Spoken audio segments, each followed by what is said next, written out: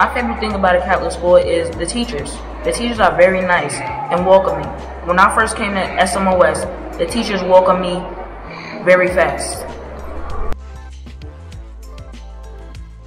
All of us got into our top choice high school and we scored in the top 25 percentile in there.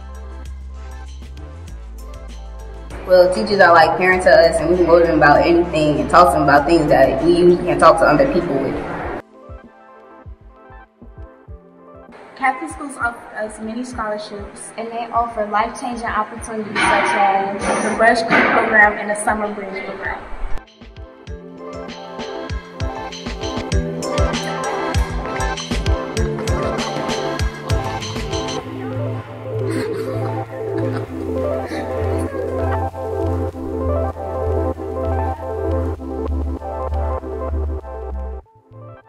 Well, it shows you leadership skills and it helps you with certain curriculums such as math and sciences and Spanish.